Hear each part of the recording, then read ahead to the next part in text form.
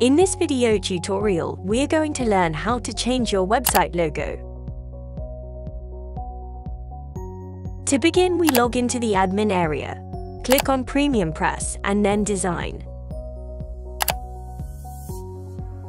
Now we click or hover over the Customize button and select Logo and Fonts. Here you have two options, a text logo or an image logo.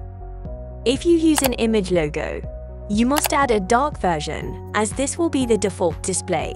The light version is optional and is only used if the header design you choose changes color.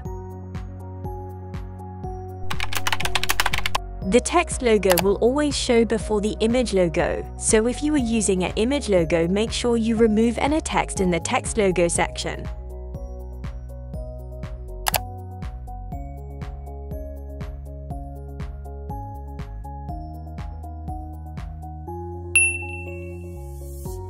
If you found this video useful, please let us know by liking and subscribing so we can keep making new videos for you.